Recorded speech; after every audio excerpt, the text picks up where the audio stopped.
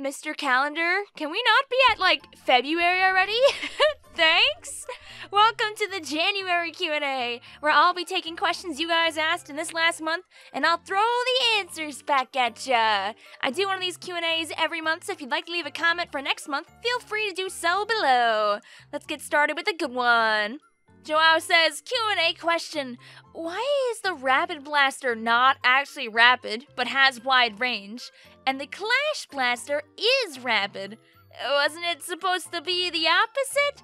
Uh, uh, the answer to that one, my friend, is that, uh, Ammo Knights doesn't give refunds, and you should definitely take a look at what the weapon descriptions say before you buy them. Okay, bye! to be actually honest with you, I have no idea. I think that the Rapid Blaster is quicker than regular blasters, but the Clash Blaster, as the name implies, just, just clashes with all the rules. It's not meant to make sense.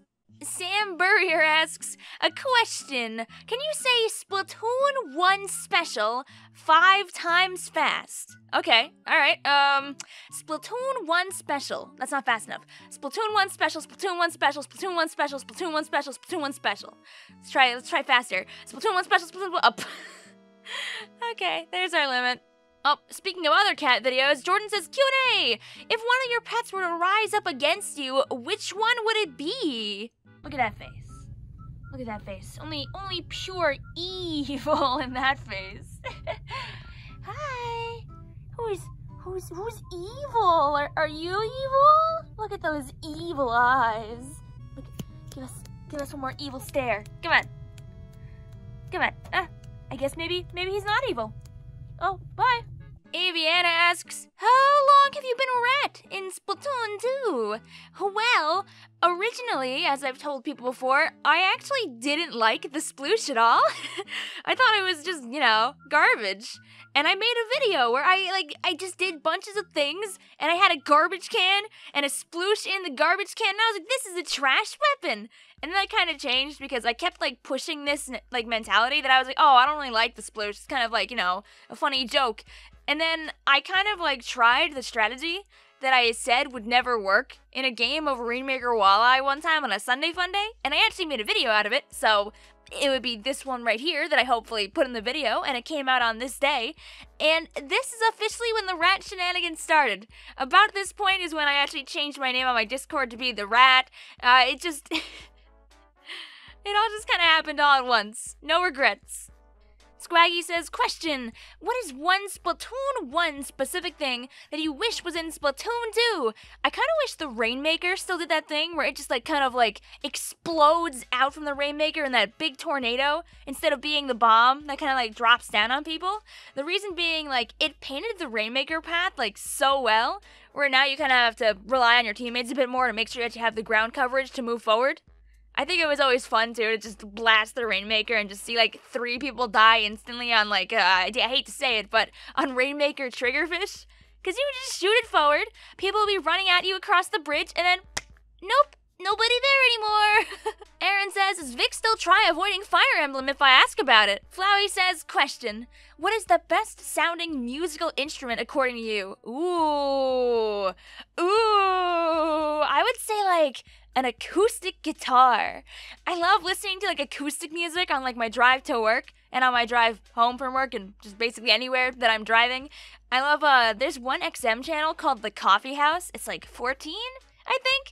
And like sometimes they play only acoustic music for like a really long time and it's it's the best channel. It's the only one that's like that's always like there for me cuz it's just it's nice. You get all the nice little acoustic guitars. You get like maybe on occasion a violin. Oh, and you just get like like all the vocals just all there once. It's good.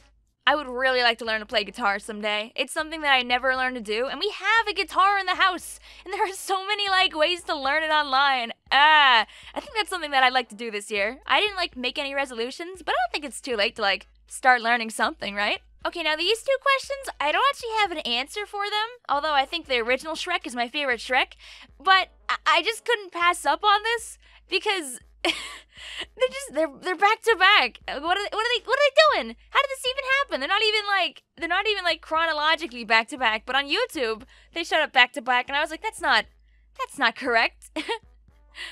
uh, the thing about uh Shrek though is that it also uses Leonard Cohen's Hallelujah, which is my favorite song. So sometimes when I tell people that I really like like the Hallelujah, like the ba da da da, I have to be like, "Oh, you you probably heard it in Shrek." And I don't know if that's a good thing or not. Booyaback asks, What kind of aesthetic are you most interested in or associated with? And honestly, even though nothing that I really have on my channel has a pastel aesthetic at all, I really like looking at stuff that has like a nice like pastel aesthetic. And then ironically on the other side of things, I, I just really like anything that's like oversaturated, just like obnoxious. Like uh, I've seen some art online that usually I'll retweet it just like has like so much pop of color to it, cause like it's just like a it's like an attack on the eyes almost, but it's still like just fun to look at. Ooh, Ben Smothers asks, what do you prefer, warm brownies with ice cream or warm pie with ice cream? And honestly, I'm going with the pie, because sometimes a brownie can just be so like heavy associated with ice cream but a pie, you can pick how much pie you want to eat. You can make sure that the pie isn't like too hefty. You can eat the pie in bits with a little bit of ice cream on top. Ah, nice. Like any ice cream that kind of like dribbles off might get just absorbed by the pie crust, increasing the flavor also of the pie crust. There's just there's just so much that can go on that's good with a pie crust. Mm. Bubbles asks, would you rather sing in the Animal Crossing language or in the Splatoon language? Well, the Splatoon language, I feel like, is a little bit harder than the Animal Crossing language. Because the Animal Crossing language tends to just be like little, little like. But the Splatoon language, especially the songs, actually have like characters and thought put into like how they speak. And I feel like that's something that I wouldn't be able to emulate very well without a lot of practice. Logan says, question, and I oop, what is the most annoying sub weapon to battle? Honestly, this is gonna be a super specific reason, but I really hate ink mines only because of splat zones.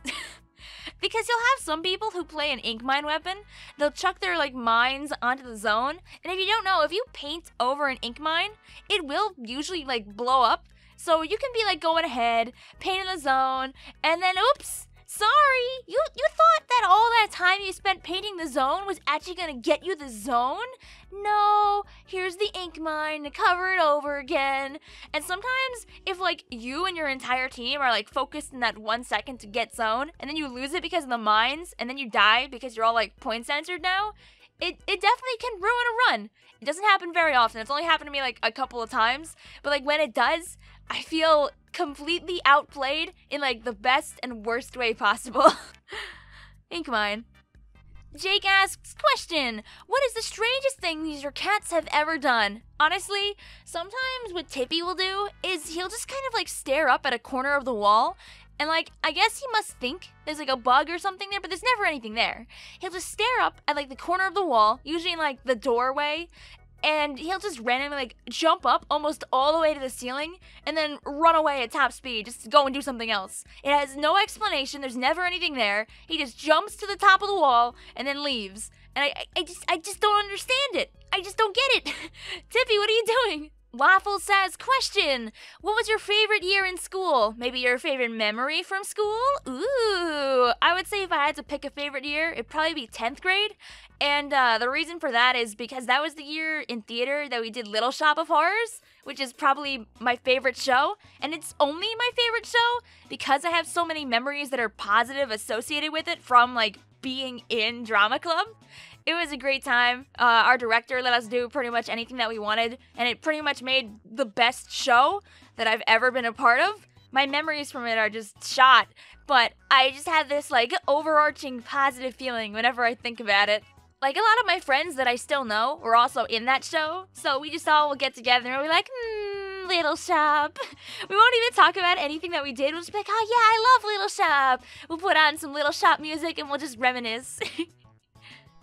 Elise asks Vic, if you made a shifty station level, what would its gimmick be? Ah, I've always, I've been waiting for a question like this. I don't know if I've answered this one before, but just in case I haven't, I would just make it a squeegee level. I just want to have squeegees. We're gonna get the little ones, we're gonna get the big ones. Put the little ones on the walls, put the big ones on the floor. We're gonna make a mess. Like, come on. We have like the, the not the grillers, the the flutters. That's the, that's the one. That's the one. We have flutters. Why don't we have squeegees? They just do the opposite.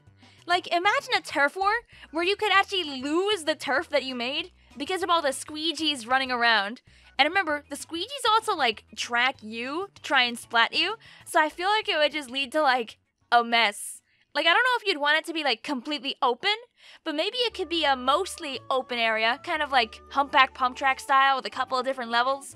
Have a few squeegees like located on each round, and maybe like imagine if like someone's strategy was to try and like convince all the squeegees to move only to one side. So like one team is more constantly fighting the squeegees to get rid of all the turf. I think it could be a lot of fun. Joshua says, Ooh, can you please show us the science trinkets that you have from your club?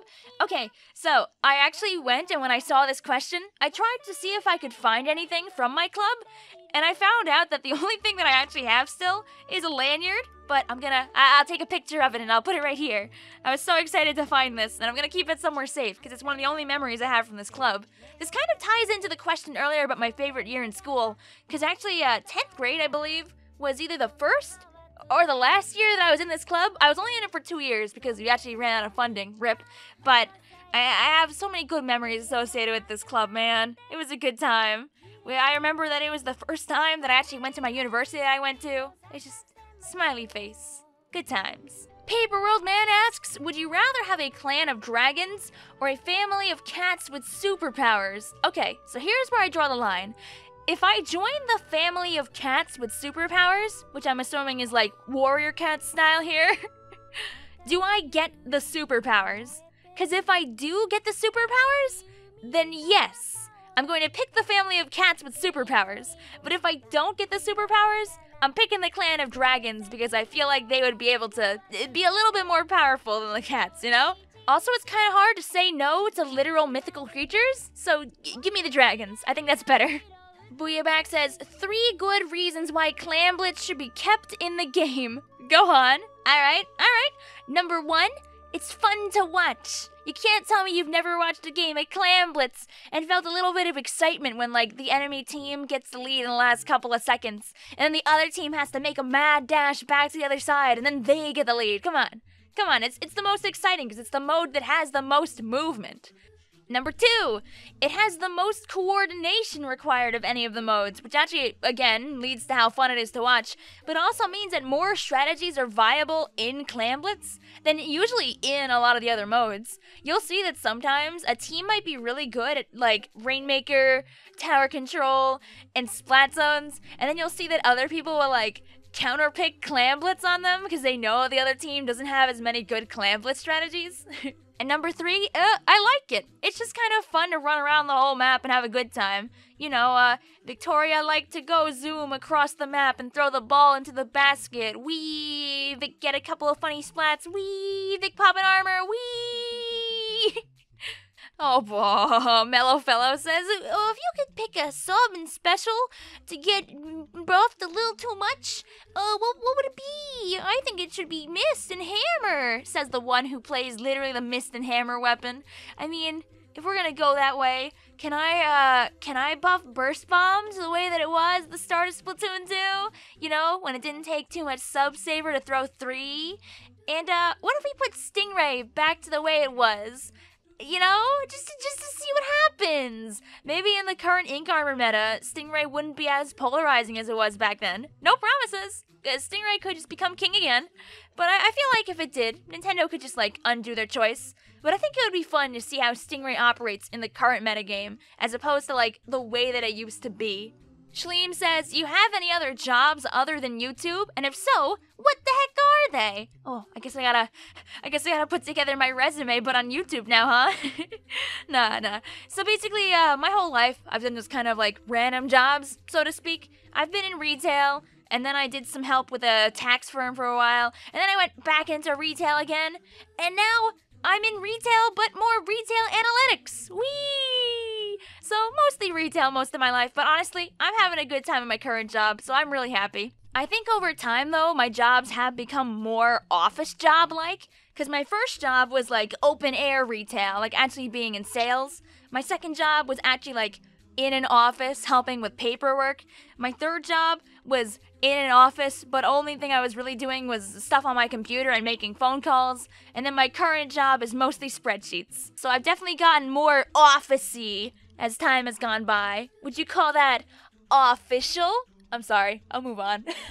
Mr. Coral says, I've been a huge fan of Love Live, and I have to ask, what is your favorite song from the series? I, I really like Snow Halation, mostly because my friends got into it a lot, like around that time, and that was like the song that I'd hear them play all the time on their phones when they're playing like the rhythm game. I know the rhythm game changed. Didn't they like make like a new app or something like that that's completely separate from like the old Love Live?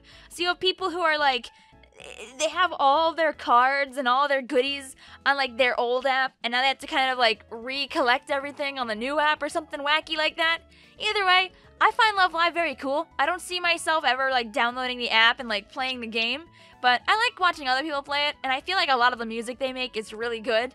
I know there's like a third set of girls now. They've been out for like a year or two. I really don't know much about them, but they're cute.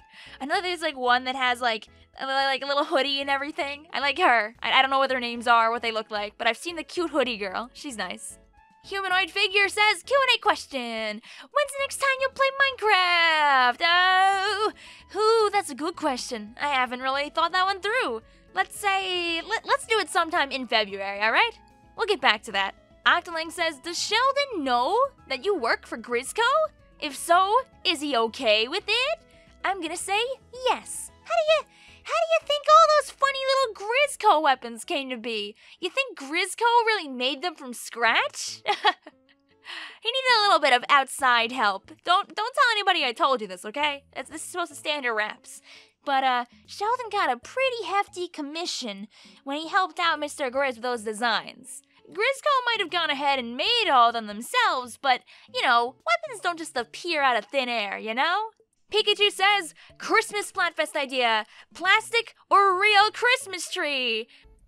Imagine having any of your Christmas trees still up in almost February? No, never. I would never do that. Also, plastic Christmas trees for life, baby. Linguini says Q&A question. what do you prefer, linguine or ravioli? I promise that I'm not biased at all. No, it doesn't sound like you're biased at all, not with your name or anything like that. Honestly, I am gonna be on your side though. I think I prefer linguine. I feel like I only have ravioli around the holidays, and then I'm usually like raviolied out, if that makes sense. I like ravioli is very tasty, but I feel like linguine is something you can eat all year long. So we'll go with linguine.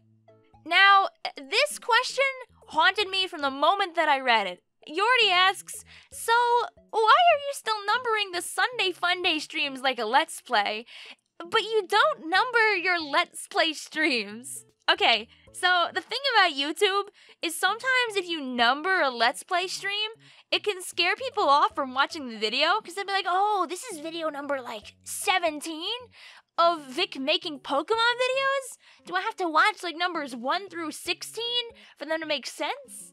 And also, to be honest with you, I, I just never started numbering things, and I don't think it's gonna start now. I really should number, like, the rest of my stream VODs, but I keep not doing that, and now I have hundreds of them.